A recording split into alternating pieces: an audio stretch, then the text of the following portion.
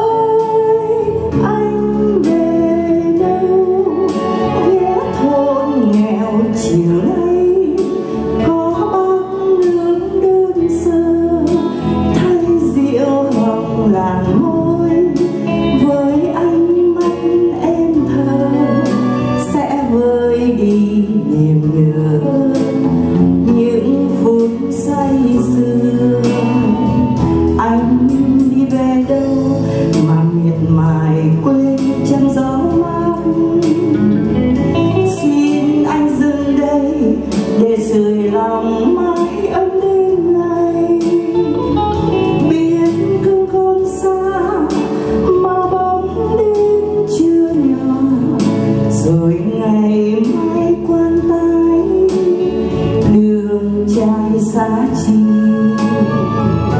biết khu con xa mà bóng đêm chưa ngờ, rồi ngày mai quan tay đường trai xa.